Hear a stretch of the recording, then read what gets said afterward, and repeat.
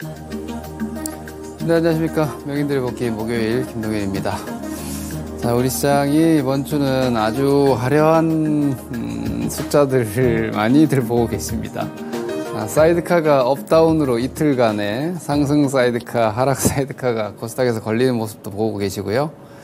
어, 공매도를 우리가 지난주 제가 어, 뭐 다른 프로그램까지 포함하면 한 2주째 정도 공매도에 대해서 우리가 관심을 가질 필요가 있고 우리나라 공매도가 제도가 좀 개선이 필요하다. 근데 이게 제가 보는 데 약간 그 이거는 감각이었는데 에, 이 주식 투자를 하려면 여러 가지 뉴스들도 계속 봐야 되고 뭐 정치적 상황, 사회적 뭐, 뭐 이런 경제 사회 정치적인 부분들까지 다 어느 정도 예, 흐름을 이해하고 본인의 판단력이 좀 있어야 된다고 저는 보거든요.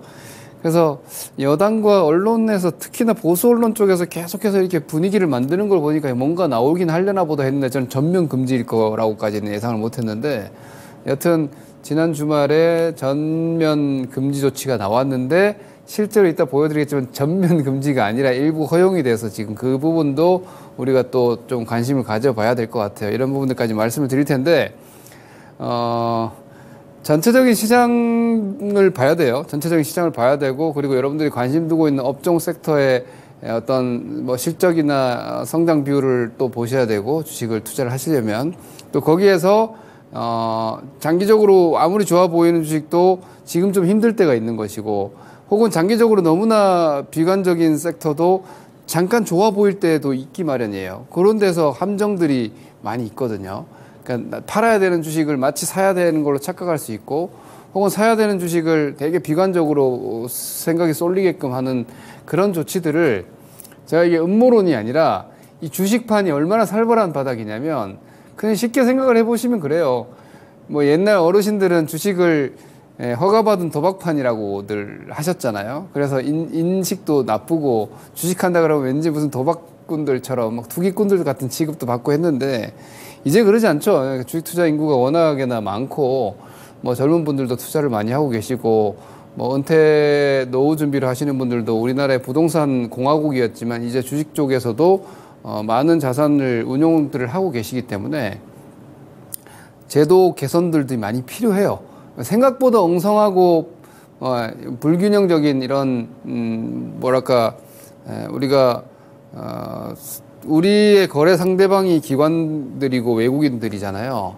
물론 제가 만약에 여기서 거래를 하면 나 아닌 모든 거래 참여자는 거래 상대방이 될 수 있어요. 그게 다른 개인일 수 있지만 개인과 개인 간에는 뭐 공정하지 않습니까? 룰이 다 같으니까. 그런데 기관과 개인, 개인과 외국인 간에는 이거는 공정한 싸움이 아니기 때문에 예, 우리가 그런 부분에 대한 제도 개선을 요구하는 건 합당합니다. 그걸 뭐 정말 고맙게도 이번에 현재 당국에서 받아서 제도 개선의 의지를 보여주고 있는데 이런 부분들이 이번 주의 움직임만이 아니라 앞으로 우리 시장의 건전화 그리고 어, 주식 시장의 어떤 질적 개선에 아주 중요한 때인 것 같아요. 저는 주식을 오래 하면서 어, 뭐 사실 좀 음, 불공정한 이런 룰을 받아들여 왔어요. 저도 어떻게 보면은 주식시장이 오랫동안 에, 뭐 기득권이라고 하기에는 저는 좀 음, 많이 부족한 사람이고 어, 그냥 개인 투자자들께 정보를 드리고 전략을 제공하는 전문가로서 저는 오랫동안 있어 오면서도 이게 과연 바뀔 수 있을까 했던 것들이 지금 마구 바뀌고 있어요. 그래서 이런 부분들을 우리가 좀 더 관심을 가질 필요가 있는데 그거는 이따가 좀 말씀드리겠고 오늘은 우리가 뭐 2차 전지 공매도 이것만이 전부는 아니잖아요. 주식시장이 그게 전부는 아니에요. 공매도 금지된다고 주식이 무조건 오를 리 있습니까? 공매도 한다고 무조건 떨어질 리도 없어요. 그게 영향을 많이 끼쳤다라는 것이지. 그러니까 주변 여건들까지도 한번 쭉 한번 보겠습니다. 자, 제가 우리가 그 지난 9월 20일 FOMC 이후에 시장을 가장 괴롭혔던 게 고금리, 예, 고금리, 고환율, 그리고 고유가죠. 이게 거의 박살나는 구조 아닙니까? 예, 취약한 우리가 뭐 수도 쓸 게 없이 그냥 얻어 맞아야 되는 상황이었던 거예요. 그러니까 이 부분이 2,700 목전에 두고 300대까지 시장을 주저앉혀 버린 이 2개월의 힘든 거의 폭락 장세가 나왔던 요인 중의 하나였는데 이게 요인 중에 하나였고 또 다른 요인이 2차 전지 급락이에요. 우리나라 대표 주도 섹터였던 2차 전지의 폭락이 이, 와 함께 예, 이 시장을 9월, 10월 그렇게 극악한 시장을 만들었던 요인인데 제가 계속 말씀드렸죠. 이게 이제 뭐, 뭐 금리 구조나 이런 부분들 말씀드리면서 깨졌죠. 어. 미국 채 금리가 제가 이걸, 이걸 어떻게 표현해 드렸나요? 미국 정책 금리가 5.25에서 5.5에 왔는데 시장 금리인 미국 시장 10년물 금리가 3.7에 있었단 말이에요. 이건 이제 뭐예요? 어차피 니네 내려올 거잖아. 어차피 정책 금리 내릴 거잖아. 그 시장 금리가 굳이 올라가지 않고 밑에서 버텼던 거예요. 그래서 사람들이 채권 바닥이다라고 보고 여기서 막 들어가가지고 박살났죠 이번에. 그래서 제가 역스프레드가 이 비, 비정상적이다라고까지 말씀드렸는데, 근데 이제 9월 FMC에서 오랫동안 유지한다, 더 올릴 수 있다 하니까 시장이 포기한 거예요. 시장이 포기하고, 예, 올라온 거죠. 그리고 미국채 발행 규모도 3분기 예상보다 강하게 나오면서 이렇게 팍 튀어 올라오면서 이게 5%대까지 찍었잖아요. 그리고 꺾였어요. 예, 꺾였어요. 5% 갔다가 지금 오늘 4.5%대 이하까지 4.49까지 내려왔으니까 이거는 이제 꺾인 거죠. 이게 시장에서 가장 아, 주식시장을 괴롭히던 예, 금리가 아, 금리의 이 급등세가 꺾였다고 보는 게 맞겠죠. 급등세가 꺾였다. 아직까지는 어, 뭐 좀, 뭐, 뭐, 갈 길이 멀지만 시장금리 4.5면 아직 높은 수준이에요. 음, 그런데 제가 이렇게 말씀드렸죠. 이거 오래 갈 수 없다. 미국의 잠재 성장률 1%대고 어, 물가가 이제 3%대까지 낮아졌기 때문에 지금 실질적으로 시장금리 적정 수준은 4.4.5에서 4.4.0 정도 사이가 맞는 것 같아요. 제가 볼 때는. 이게 이제 금리 인하 기조가 만들어지면 더 내려가겠죠. 어, 이 부분이 제가 이전에 이렇게 말씀드렸죠. 그 6대4 전략. 어, 주식, 주식 6, 아, 6대4 전략으로 봤을 때 주식 시장이 그러니까 채권 값, 이 값이에요. 이거는, 이건 금리가 아니라 채권 값입니다. 이게 밸런스를 그대로 유지를 하기 때문에 채권 값이 떨어지면 책, 주식을 팔아서 채권으로 오고 채권 값이 올라가면 채권을 팔아서 주식으로 온다고. 이 균형을 계속 맞추는 거기 때문에 지금 이렇게 금리가 급락을 한다는 건 채권 값도 단기간에 급등하고 있는 거거든요. 그러면 채권 밸런스 조정해서 주식으로 사는 거예요. 그래서 수급이 좋아지는 겁니다. 시장 주식시장 수급이 그리고 더불어서 보시다시피 달러도 지금 뭐 아주 완전하게 달러 기조가 바뀐 건 아니에요. 왜냐하면 엔화가 여전히 약세 중이에요. 일본이 이번에 YCC 변동 범위를 크게 확대하진 않았죠. 그제도 그대로 1% 유지하면서 1%를 넘는 것도 용인한다 그러면서 숫자 데이터를 제공하지 않았어요. 그러면서 오히려 여전히 일본의 1% YCC 1%대가 유지되면서 엔화가 여전히 약세. 예, 왜냐하면 그걸 일본이 예를 들어서 YCC 변동 범위를 확대하면 우리 시장도 그건 좀 주의해야 되는데 만약 그렇게 되면은 아, 엔화가 단기적으로 강세 전환이 되면서 엔 달러 환율이 크게 떨어지고 그러면 달러가 다시 또 추가적인 약세 요인, 엔화 강세 요인 되면서 우리나라 원화도 좀 아, 좀더 강한 강세 요인이 될 수 있는데 일단 뭐 달러 인덱스는 미국의 고용이 조금씩 둔화되고 있지 않습니까? 그러니까 미국 경제가 미국만 좋다가 아니라 미국도 약간 둔화되는 조짐이 나오고 있으니까 달러 강세 요인이 약화되는 거죠. 그러니까 달러의 강세가 진정되는 거고 미국 채 금리 그러니까 예, 환율은요. 그 나라의 경제 상황과 이자가 제일 크게 영향을 받는 거예요. 금리 스프레드로 움직이는 거니까 돈은 이자를 이자에 따라서 이렇게 움직이는 거니까 그러니까 미국이 이자가 내려오니까 당연히 미국과 다른 나라의 이자 격차가 줄어드니까 달러가 빠지는 요인이 돼서 달러 약세예요. 예, 요거 요거 이제 환율 약세 요인이죠. 우리나라 환율이 떨어지고 있는 요인이고 그리고 유가도 떨어졌죠. 이게 이제 이스라엘 팔레스타인 전쟁에 대한 걱정을 하고 있지만 사실상 이거 제가 이전에 맞췄던 거 아세요, 여러분? 저는 95에서 97 본다 했는데 딱 찍고 나서 지금 꺾여 있어요. 어, 현재로서는 뭐 유가는 저는 70대 요 구간에서 당분간은 70, 80 금방 고착이라고 보기 때문에 음, 뭐 경기 우려, 수요 우려가 아, 그 중동 정세에 대한 공급 우려보다 지금은 강한 상황이 돼 있어서 유가 걱정도 좀 덜어준 것 같아요. 그래서 이제 미국의 여러 가지 변동성 우려 시그널들, 이거 빅스 지수 같은 것도 지금 꺾여 내려와서 상당히 안정적입니다. 그래서 이 시장은 공매도 금지 조치가 나오지 않았어도 우리 시장 올라갈 여건이었고, 어, 미국 시장 S&P 500 지수인데요. 이 S&P 500 지수를 보면은 이게 작년도 S&P 900 9월 달 저점 찍고 요 SBB 3월 저점 찍고 이번에 지금 내려와서 그 채권국 때문에 내려온 저점을 상승 추세를 깼었죠. 근데 이 상승 추세를 다시 올라탔어요. 이거는 추세를 다시 복원했다라고 하거든요. 이게 상승 추세 이렇게 나올 때 이렇게 이렇게 이렇게 가다가 이거 깼다가 다시 올라오면 이건 상승 추세 유지라고 보는 거예요. 여기가 일시적인 언더슈팅이다. 네, 기술적으로 이렇게 보거든요. 요거 내려왔다가 지금 올라왔는데 요렇게 해놓고 이게 이렇게 이렇게 이렇게 옆으로 가는 경우들도 있어요. 옆으로 가는 경우들도 많이 있는데 일단 아래가 아닌 거죠. 네, 여기서 예를 들어서 제가 다시 깨끗하게 해서 보여드릴게요. 추세가 이렇게 상승 추세가 있어요. 이렇게 이렇게 이렇게 가다가 여기 깨졌어요. 깨져서 부딪히고 이렇게 떨어지면 여기서 추세가 방향이 바뀌는 거죠. 이렇게 하락 추세로. 그게 아니라 이게 다시 올라탔기 때문에 추세를 지킨 겁니다. 그리고 저는 뭐 계절적인 요인들도 있어요. 이따 뭐 나중에 11월 21일인가 뭐 그때 당시에 이제 다시 또 어 미국의 셧다운 우려 같은 게 나올 수 있는데 그거는 뭐 심각하진 않을 것 같고요. 연말 소비 회복에 대한 소비 시즌에 대한 기대감이 기본적으로 미국은 계절적으로 늘 있고 그리고 중요한 거는 지금 경제를 걱정하고 경기를 걱정하는 것보다 증시는 여전히 유동성에 기반한 움직임입니다. 이번에도 보시다시피 채권 금리 떨어지니까 바로 올라가잖아요. 그러면 오히려 경기가 좀 둔화되면은 고용이 타이트해지면서 내년도 금리 전망이 상반기 1회 인상으로까지 바뀔 수 있어요. 그럼 시장은 상단까지도 갈 수 있어요. 그래서 미국 시장과 기반한 글로벌 시황 전략은 10월 달 차단을 쳤고 연말 연초까지 상단을 시도할 수 있지 않을까라고 저는 봅니다. 그러면 우리 시장도 그 관점에서 봤을 때 2,500대 예, 돌파와 안착 그리고 그 이상의 시도까지도 기대해 볼 수 있는 시황입니다. 종합지수로 잠깐 돌아와서 한번 보겠습니다. 자, 이 부분 보시면 우리 시장이 지금 이게 코스닥 지수고요. 자, 코스피로 말씀드릴게요. 뭐 코스닥이 변동성이 더 크긴 한데 자, 코스피로 보면 제가 그냥 오랜만에 선을 좀 몇 개 그어 드릴게요. 자, 여기죠. 여기 이렇게. 예? 이러고 미국은 지금 이, 이, 이 라인을 올라탄 거예요, 다시.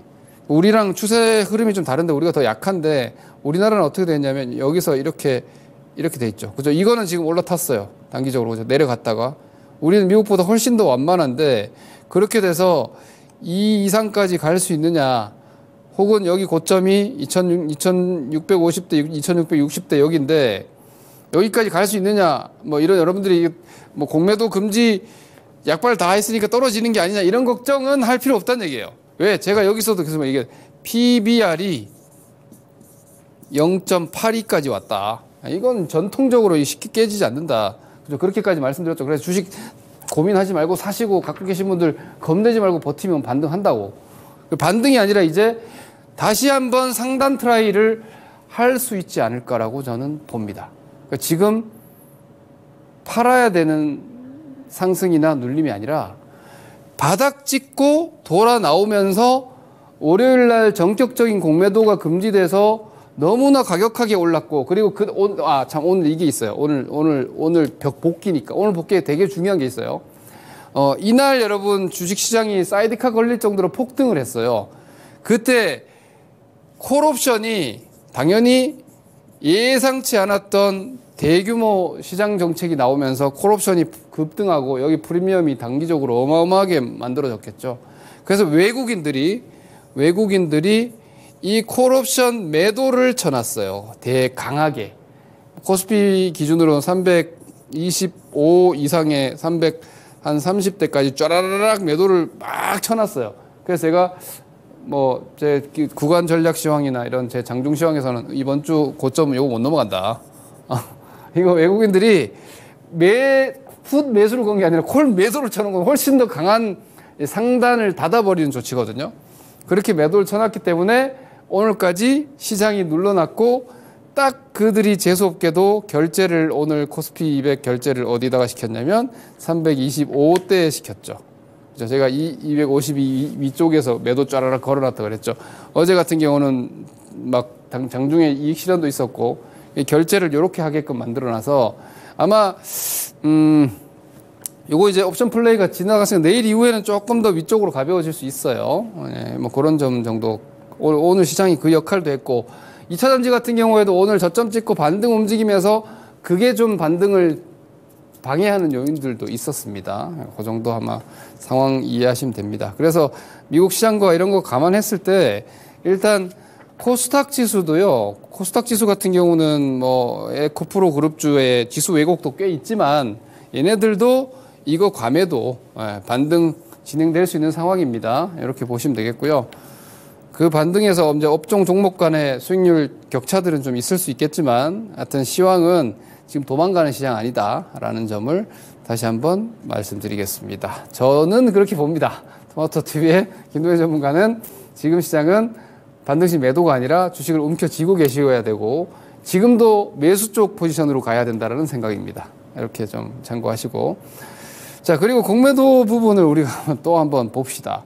이게 제가 뭐 여러분들을 독려하는 것처럼 보이실 수 있는데 왜냐하면 이거는 우리 입장에서 관심을 가져야 돼요. 저는 TV 출연하는 여러분들 증권 전문가 전문가라고 이야기하지만 저는 개인 투자자의 한 명이에요. 저는 예, 기관 제도권 소속 전문가가 아니기 때문에 예, 개인 투자자 입장에서 말씀드리는데 아니 불공정한 판은 공정하게 만들어야죠. 거래 아니 스팟 시장에서 어? 누구는 가지지도 않은 물량을 막 팔아버릴 수 있고 그죠? 제가 지난주에 신용 얘기해가지고 제가 방송을 제가 모니터하다 보니까 마치 신용을 이렇게 예, 예, 권하는 것처럼 들렸을 수도 있을 까 저는 신용을 반대하는 사람입니다. 주식은 내 돈 가지고 해야지 내가 기다릴 수 있는 만큼 기다리는 거예요. 남의 돈 빌리면 못 기다리잖아요. 그건 엄청 불리해서 저는 신용하지 말라는 주의인데 그렇지만 차입이라는 거 공매도가 주식을 빌려서 파는 놈들이 있으니까 아, 파는 놈들이 아니라 예, 공매도를 예, 주식을 빌려서 파는 주체들이 있으니까 살려고 하는 매수 주체도 돈을 빌려서 살 수는 있어야 될 거 아니에요. 근데 왜 증권사들은 신용을 막아놓느냐. 아, 이런 얘기예요. 나, 여러분들을 하지 말고 저도 안 하고 하지 말라고 말씀드리는 누군가는 하니까 그 누군가가 매수 주체가 되는 건 현실이니까요. 네, 이런 얘기를 한 거고 이 공매도는 이런 거죠.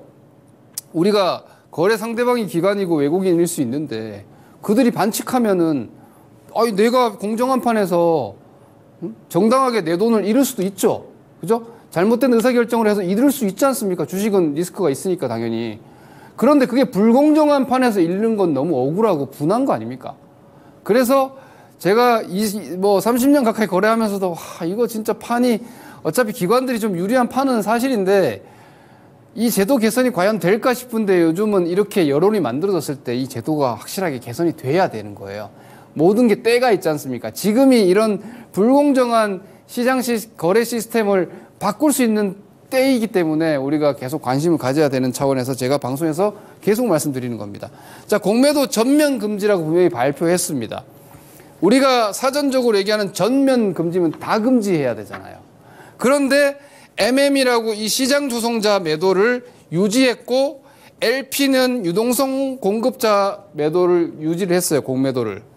그러다 보니까 어떤 일이 일어났냐면 공매도를 금지했는데 공매도가 더 많이 나와 버렸어요. 제가 이게 왜 이런 일이 있는지를 보여드릴게요. 하지만 이건 주로는 들 거예요. 예, 뭔가 제재가 나오지 않더라도 주로는 들 건데, 근데 반가운 소식은 거래소에서는 당연히 지들 가, 같은 밥그릇을 공유하는 이들이니까 한국 거래소는 여러분 예, 이게, 이게 그 회원사들이 증권사들이고 이 이게 유동성 공급자 시장 조성자 이론적으로는 필요해요. 그 시장 조성자는 뭐냐면 호가가 없는 주식 있죠. 호가가 없는 주식에 호가를 제공하는 거예요.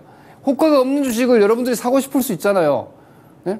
무슨 무슨 땡땡 주식 나는 남들 아무도 관심 안 가지는 난 저 주식이 너무 좋아 보이는데 이게 내가 한 2천만 원어치 사고 싶은데 2천만 원어치 살 수 있는 호가가 없을 때 그걸 제공한다 이제 이런 개념이거든요.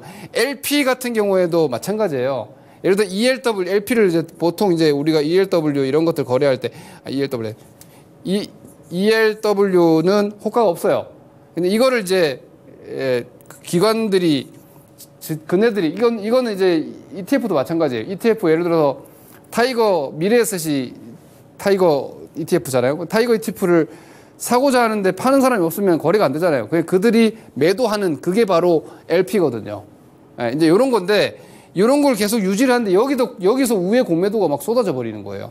그래서 금융위원장이 시장 조성사 공매도 특이사항이 있는지 금감원에 조사 의뢰했다. 뭐 이런 얘기들 나오고 있고 개인들 얘기 불만이 엄청나게 많죠. 이게 뭐 이게 어떤 식으로 거래되고 있는지 제가 한번 보여드릴게요. 아까 말씀드렸어요. 호가가 없는 데다가 시장 유동성을 공급하는 게 시장 조성자라고. 그런데 이게 여러분 숫자가 잘 안 보일 건데 제가 그럼에도 불구하고 그냥 이, 이 그림으로 준비해서 말씀드리는 거예요. 요게 LG 에너지 솔루션이에요. LG 엔솔. 그리고 이게 에코프로 BM이에요. 자, 코스피 시가총액 2위, 코스닥 시가총액 1위예요. 이런 주식이 시장 조성자가 필요합니까? 매도 물량 천지고 매수 물량 천지고 개인들이 거래를 엄청나게 많이 하는 주식 이런 주식이 왜 시장 조성자가 필요해요? 그런데 이거 보세요. 자, 이거 제가 이, 이, 아, 확대 안 되지. 여기, 여기 보시면은요. 요게 이제 업틱룰이 적용이 되는 게 일반 공매도고, 어, 이 시장 조성자 LP랑 MM 매도는 업틱룰이 제공이 안, 고, 해당이 안 돼. 업틱룰이 뭐냐면, 공매도가 매수 호가 이렇게 호가가 있잖아요. 이 매도 호가 여기 있고, 매수 호가 여기 있잖아요. 원래 공매도는 여기로 못 던지게 돼 있어요. 예, 여기로 던지지 못하고 여기에 쌓게 돼 있어. 여기 여기에 매물을 쌓아가지고 공매도를 하는 게 바로 그 니네 공매도 할 때 밑으로 던지지 마. 여기다가 매도에 걸어가지고 팔아. 이게 그 업틱룰이에요. 이게 적용되지 않는 게 시장 조성자 매도. 밑으로 던진다고. 그러니까 여러분들이 아니 업틱룰이 시행이 되는데 공매도가 어떻게 이렇게 밑으로 많이 나오지? 내가 보는 종목이 분명히 밑으로 막 던져서 내렸는데 나중에 마감하고 보니까 공매도가 20% 25%야. 이게 뭐야 도대체? 그게 바로 시장 조성자 매도를 이용해 가지고 공매도를 때리는 거예요, 그냥. 그래서 이게 한통속이라니까? 왜냐면 이게 다른 게 아니에요. 우리가 사전적으로 아는 거는 시장 조성자 매도라 그러면 뭔가 건전하고, 어? 원활한 거래를 위한 것 같잖아요. 근데 보세요. 업틱룰 적용하는 물량하고 여기 요, 요 밑에 쭉 보시면은 요 업틱룰이 적용될 때 물량이 이렇게 나오죠. 여기도 마찬가지예요. 특히 코스닥 같은 경우에는 이 LG 엔솔 같은 경우는 거기에 덜해요. 왜냐하면 업틱룰 적용됐을 때 많고 적용 예외가 얼마 없죠.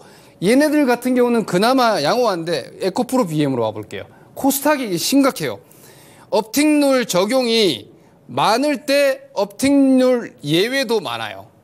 자 보세요. 여기 15만, 여기 16만. 그리고 확 줄어들죠. 여기 4만 7천, 여기 4만 7천. 여기 22만, 20만이니까 16만, 10만. 같이 많죠. 이게 이제 시장 조성자고 이게 일반 공매도예요. 같은 한 통속이잖아. 누가 봐도 그렇잖아. 한 무더기에서 같이 파는 거 아니야. 여기서 많으니까 이 여, 기도 많고 여기도 많고 이거 줄어드니까 여기도 같이 줄어들어. 말이 됩니까 이게? 그러니까 지금 이 시장 조성자라는 거는 그냥 구색일 뿐이고 이거 같은 그냥 공매도 창구야. 그냥 그냥 이 공매도 우회 통로로 이, 이 시장 조성자 매도가 이용되고 있다니까요. 그런데 이거는 오픈돼 있어. 그러니까 그 공매도가 쏟아지는 거예요. 그런데 어쨌거나 제가 볼 때는 이건 제 뇌피셜이에요. 공매도를 갑자기 금지하니까 공매도 세력들은 초비상이 걸렸지.